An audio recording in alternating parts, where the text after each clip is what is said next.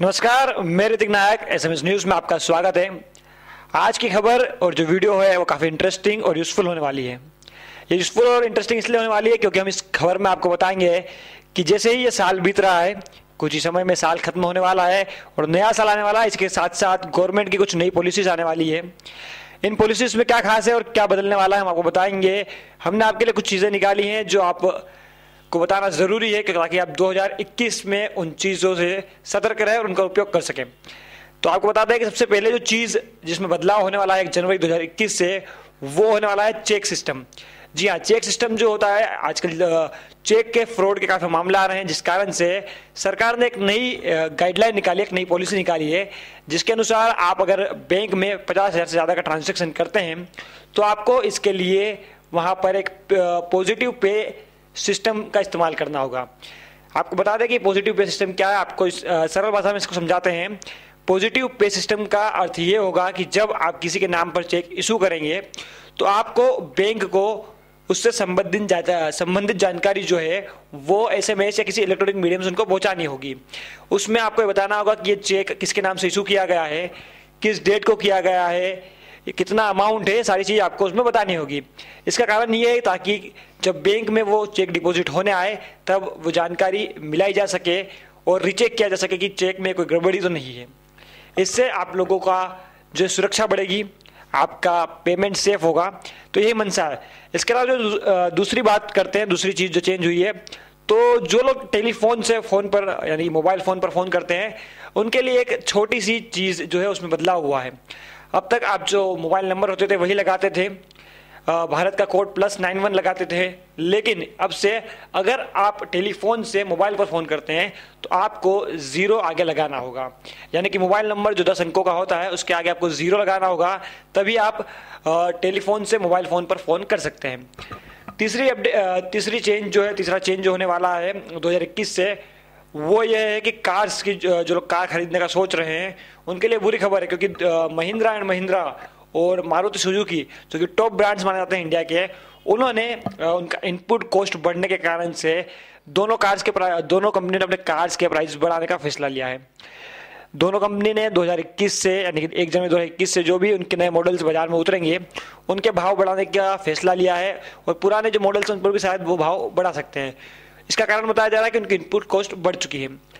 चौथी जो खबर है चौथी जो चीज़ चेंज होने वाली है, उसमें हम आपको बता दें कि यूपीआई सिस्टम जो होता है, जो लोग गूगल पे का इस्तेमाल करते हैं, जो फ़ोनपे का इस्तेमाल करते हैं, जो पेटीएम का इस्तेमाल करते हैं, उनके लिए हो सकता है कि अब गूगल पे से पेमेंट करने पर कुछ पैसा ज़्यादा लगे।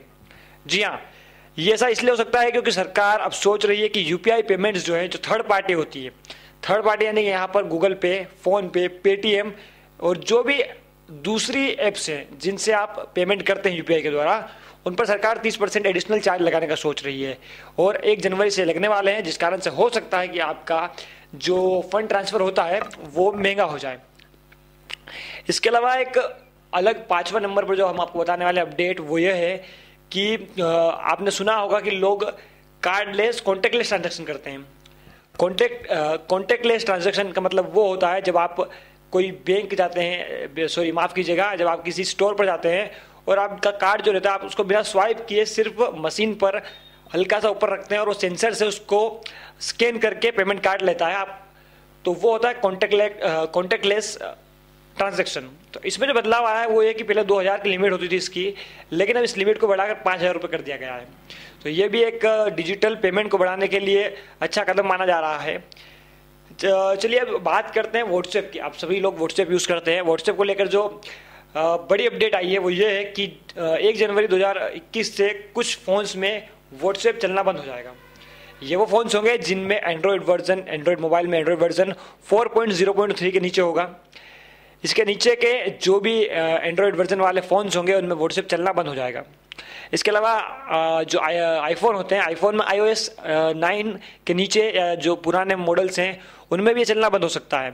ऐसे ही जियो और जियो के फ़ोन में सपोर्ट करेगा, पर कुछ फ़ोन से जिनमें ये बंद होने वाला है। तो आप जाकर देख लीजिए कि कहीं आपका फ़ोन भी उस कैटेगरी में तो नहीं है। तो हो सकता है आपका भी व्हाट्सएप बंद हो जाए। तो आप ये चेक ज़रूर कीजिएगा। इसके अलावा एक और अपडेट है जो आपको बताना ज़रूरी है। वो ये है कि जो जीएसटी है तो जीएसटी में अब तक जो पाँच करोड़ से टर्नओवर नीचे होता था जिन लोगों का, उन लोगों को मात्र अब से चार बार ही इंस्टॉलमेंट जो है साल भर में उनको भरना रहेगी। अब तक ये आठ बार हुआ करती थी, लेकिन इसको घटाकर उनके लिए चार बार कर दिया गया है। इसमें जो है सीधा सीधा फ़ायदा, बयानवे लाख जो यहाँ पर छोटे आप कह सकते हैं बिजनेसमैन है, उनको इसका फ़ायदा मिलने वाला है। इसमें काफ़ी एक सुधार वाला कदम माना जा रहा है इसको। इसके अलावा जो लिस्ट हमारे पास है, उसमें आपको बता दें कि फास्टैग, जो नया टोल पेमेंट सिस्टम उभरा है भारत के अंदर, उसको अब मैंडेटरी कर दिया जाएगा, यानी कि उसको जो है लागू कर दिया जाएगा, उसके बिना आप अपने फोर व्हीलर व्हीकल्स को वहाँ से लेकर नहीं गुजर सकते।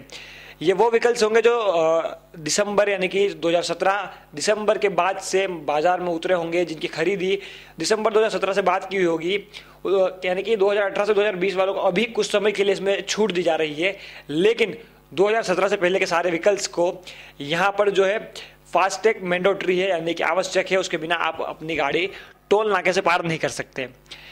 आखिरी अपडेट जो आपको देने वाले हैं, वो यह है कि गूगल पे यूपीआई जो है गूगल पे यूपीआई में जो व्हाट्सएप वेब की तरह ही गूगल पे का वेब चलता था, उसमें सारे ट्रांजेक्शन सब बंद हो जाएँगे। अब आप गूगल पे से अगर पेमेंट करना चाहते हैं तो सिर्फ़ और सिर्फ़ उसका ऐप ही इस्तेमाल करें। अगर वेब से आप करते हैं तो आप उससे पेमेंट नहीं कर पाएँगे। और जैसा कि हर बार होता है, हर महीने के अंत में या महीने की शुरुआत में दुनिया भर में क्रूड ऑयल का भाव गिरता है, जिसके कारण से एलपीजी सिलेंडर में उनके भाव में बदलाव आता है। तो ऐसे ही साल शुरू होगा, नया साल आएगा, नया महीना आएगा तो क्रूड ऑयल के भाव भी विश्व भर में ऊपर नीचे जाएँगे, जिसके कारण हो सकता है पेट्रोलियम सिलेंडर, खास करके सिलेंडर के भाव ऊपर या नीचे जा सकते हैं। तो ये कुछ चीज़ें थी जो 2021 में बदलने वाली हैं। आप ध्यान रखिएगा कि आप इनसे प्रभावित होते हैं या नहीं।